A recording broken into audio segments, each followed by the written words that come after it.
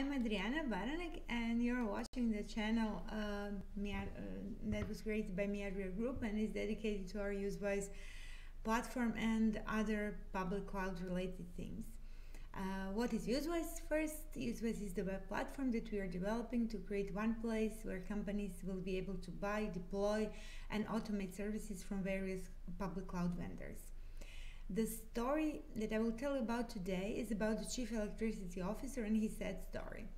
And this story has a point, so please stick with me.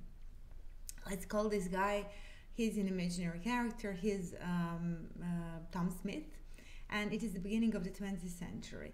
Tom is a great guy, an engineer, and he has been with a small manufacturing company for many years. His life is good, uh, his children his wife are all doing fine, and his family life is surpassed only with his amazing professional success. Years back, he was promoted to the position of Chief Electricity Officer in his company, and he got used to glory and financial benefits that come with such an important position. He's the one that is in charge of building and operating steam engines that power the entire plant, and it has been a good run for him. His opinion is the one everybody seeks. He is the one making decisions about expansions and ensuring the high availability of energy needed in the everyday manufacturing operations. And then one day there is a rumor that there is the opportunity to connect the factory to the public electrical power distribution system that just sells electricity produced by them and enables you to spend as much energy as needed without having to maintain the large infrastructure needed for that. And basically, this is what his job is to ensure this um, internal source of electricity. Uh, so his general manager asks him about it, uh, his opinion, and Tom explains that this technology is not really proven yet.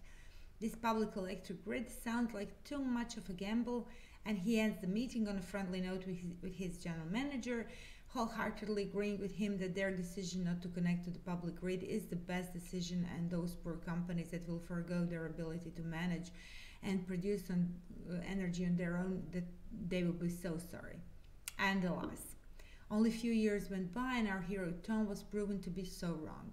Public electric grid became standard and uh, his position was abolished and poor Tim was fired from the company together with the general manager for having miscalculated their cards and wasting ton of money and wasting precious capital on building something that was easily available.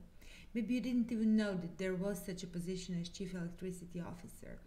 And um, the point of this story is um, how similar this is to the today. Um, does this story ring a bell for you? It does not make sense to build your own data center today.